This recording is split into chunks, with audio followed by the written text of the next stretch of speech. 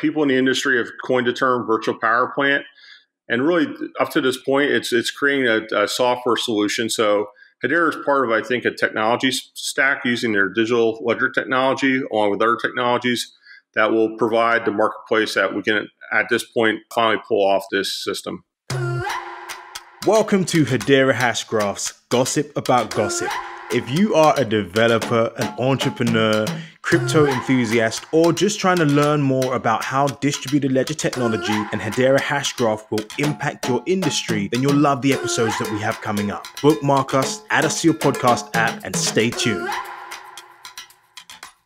Hey there, and welcome to Hedera Hashgraph, Gossip About Gossip. I'm Paul Madsen. I sometimes think the chats I have with dApps building on Hedera should be called something like cutting out the middlemen because I'm talking to another entrepreneur today who is determined to, to cut out the middlemen in the power industry. I'm joined today by Mike Beitler from MyVPP. How are you, Mike? Doing great. Thanks, Paul. So, did I summarize correctly the business model? Yeah, it's, it's very, very good as far as how you summarize it. Pretty much what we're, what we're doing is looking to use energy storage technologies and push technology to the grid edge and actually what you said, cut out the middleman. And part of us doing that is using Hedera Hashgraph as a platform in which we tokenize a kilowatt hour and create a marketplace in which that energy can be traded. Awesome. So let's let's come back later to um, you know why you're building on Hedera, yeah. maybe what particular advantages you think we can offer. Before we get there, what about your background? How did you get here? Real quick, uh, my background semiconductor. So 30 years in semiconductor with nine years at IBM, and then followed up by 20 years with Texas Instruments. So I've been in you know the chip build technology space for that whole time. And what I saw is electric markets and pretty much centralized systems such as electricity need to be decentralized and again push it to grid edge or the network to grid edge. And I saw Hedera as a platform to help do this. So you're you're pushing electricity to the edge, but my sense is that you're focused on storage and not generation. Is that fair? Yes. Uh, so as we add more clean energy products to the electric grid, such as I'm in Texas, so wind power, or in states like California, solar power, they're intermittent energy sources, and we need to store that power. And by tokenizing the kilowatt energy in those systems and stuff, energy storage systems, we can use those power systems in off peak times. So, is the proposition that I, as a homeowner, install a storage device, a battery of some sort, and then can sell that back in off peak hours and do so using your token? Yes. So, there, there are two, two mechanisms we can use. The first mechanism is load reduction, where we will create a marketplace where you get paid to take your house off the grid and run on your battery the second mechanism is actually if you're not home and using that energy where we can actually aggregate, you know, hundreds or at some point thousands of energy sources and price that into the marketplace. Cool. Is there a token? Yes, the token is VPP. You know, people in the industry have coined the term virtual power plant. And really, up to this point, it's it's creating a, a software solution. So Hedera is part of, I think, a technology stack using their digital ledger technology along with other technologies that will provide the marketplace that we can at this point finally pull off this this system. And so VPP can operate to take load off the grid. So if someone's home and using power, we will switch over to va- battery power and take advantage of them having battery storage technology in their house. Second mechanism would be if people are not home to sell that electric back into the grid. For an example, uh, about two, three weeks ago in the Texas market, Texas ERCOT market, I charge my battery off peak at 1.4 cents a kilowatt hour. And we had a very hot day the next day in Texas, and pricing in the wholesale markets went to $9 a kilowatt hour. It's over a 300x multiplier. So this gives arbitrage opportunities to people that have energy storage on the grid edge. You charge your battery at those low low rates and then sell into the high rates on the, the next hot day when they, they need air conditioning? That's exactly right. Awesome. So tell me about electricity inelasticity. So as we add more intermittent electricity into the markets, it creates more chaos. So in the Texas market where I live, uh, typically during the day, the wind power drops off, and that's when we need wind power the most, especially in summertime. So because of this chaos, we can actually create market opportunities that have not existed before. And this is really where pushing energy storage into homes and stuff where people actually have it behind their meter or actually in commercial properties where it's behind the meter. This gives people to uh, take advantage of those marketplaces. And this is why we are building on Hedera to build out a marketplace to do this. You, you said you're in Texas. Is, is that how you found out about Hedera? Yes. So Hedera Hashgraph, I actually, uh, in early readings, um, I started to look at some alternative blockchain technologies and just knew right off the bat they wouldn't scale properly. So it was late 2017 when I started to read on uh, Hedera and some of the distributed ledger technology that Leemon and Mance were coming up with.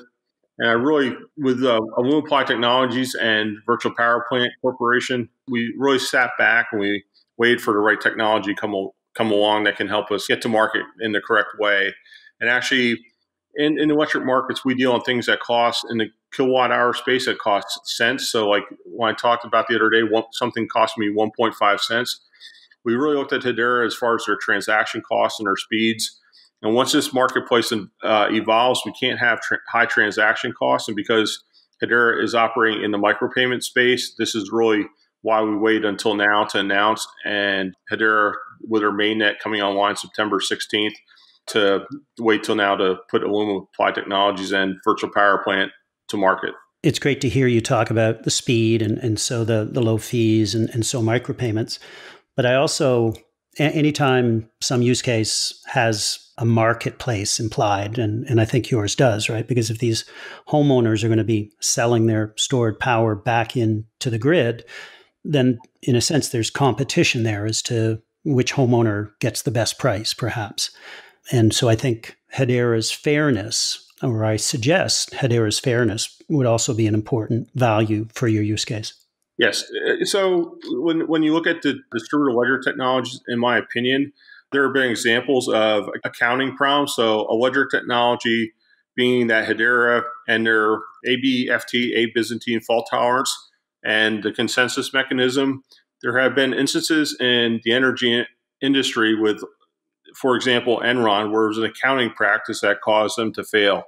So, building an energy platform on a consensus mechanism that is trustless becomes very, very, very important, in my opinion. Yeah, agreed. And the, the visibility and transparency that we can offer all parties in the ecosystem, right? So those homeowners know when their bid to sell a given amount of kilowatt hours was received by the network and whether or not they got a, a better price uh, accordingly.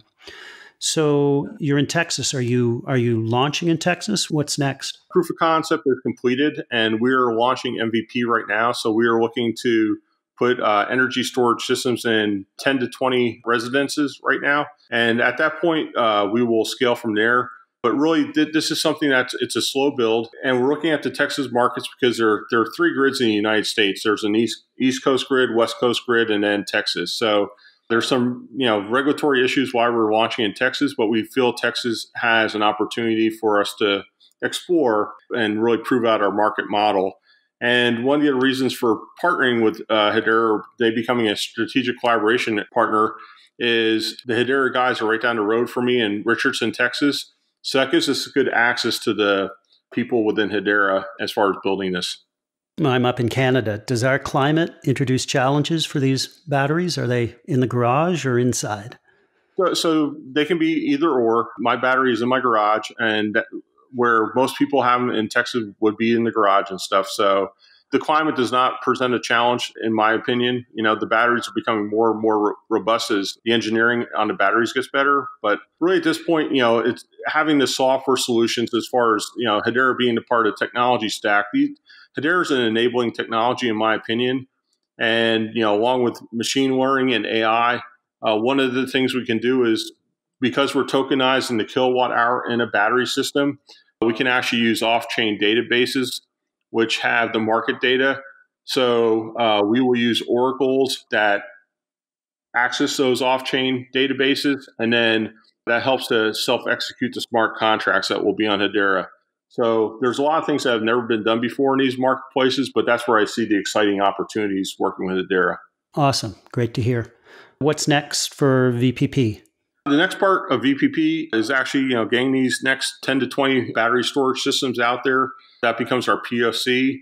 We're very excited that Hedera is launching on September 16th. You know, I think there's a lot of opportunities to build marketplaces out there that have been uh, very centralized to this point, and this gives a, a chance, especially with energy being so centralized, to decentralize energy marketplaces and give people, I call it almost like uh, kind of get the vote with their wallet. So outside of political things that happen, you know, this is a chance for people to see where we're going from a carbon-based economy to a green-based economy, and people can sit there, even though they don't have the solution themselves, companies like myself look to actually give them opportunities where they can participate in this opportunity. There would presumably be a, an environmental benefit to this model, right? It would seem that less electricity would be wasted, perhaps. There are a lot of environmental opportunities. So once we start pushing this, the coal peaker plants are the first to go, and they're they're disappearing already. But at some point, energy storage and renewable technologies are really starting to push the boundaries of where gas peaker plants become non-economical. And as we push the technology to, to grid edge, there's there's a couple things that really come into play as far as uh, network effects. And there have been people before have talked about network effects, like Bob Metcalfe at 3Com. So really, the network effects start to play in this, and as we build out the network on Hedera, the Bloom slash VPP marketplace will become very, very powerful, built on network effects. Yeah, Mike, thanks very much for uh, chatting today. Fascinating use case. Uh, I look forward to seeing my VPP build out. I'd, I'd love to have one of those batteries in my own cold winter garage in the Canadian North. Thanks, Paul. Thanks a lot, Mike. Thank you for listening to Hedera Hashgraph's Gossip About Gossip. If you like the episode, please subscribe, rate, and review, and also share and tell your friends. Or connect with us on social media like Twitter, Instagram, etc. at Hashgraph, particularly if you want to leave us feedback on the podcast. We look forward to hearing from you.